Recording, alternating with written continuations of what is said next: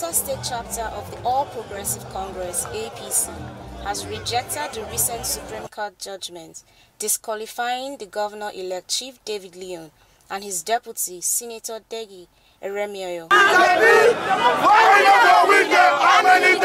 Addressing a press conference in Yenagoa, the member representing Southern Ijaw Federal Constituency in the House of Representatives, Honorable Preye Oseke, called on all party supporters to remain calm and law-abiding. As a party and as a state, we're in shock.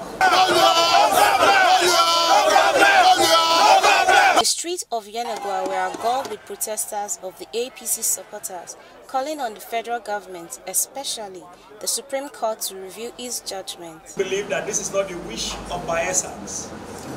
Again, we are calling on the Independent National Electoral Commission not to issue certificate of return to the candidate of the PDP because the candidate of the PDP was unable to score the required 25% in the two-thirds of the local government.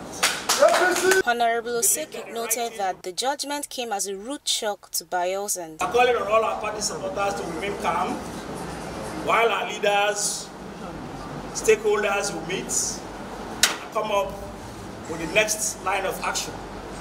INEC is called upon once again not to issue the certificate of return Other APC chieftains also bear their minds on the development. Treaties. We have a living God in heaven.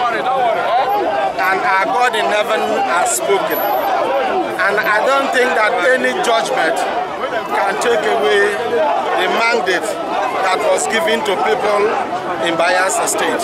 Carry judgment and uh, we, the APC, we have rejected the judgment so far. There is no cause for alarm. You can see that the common Bayelsas are not happy over the judgment, and that's to tell you that Bayelsas will won by side,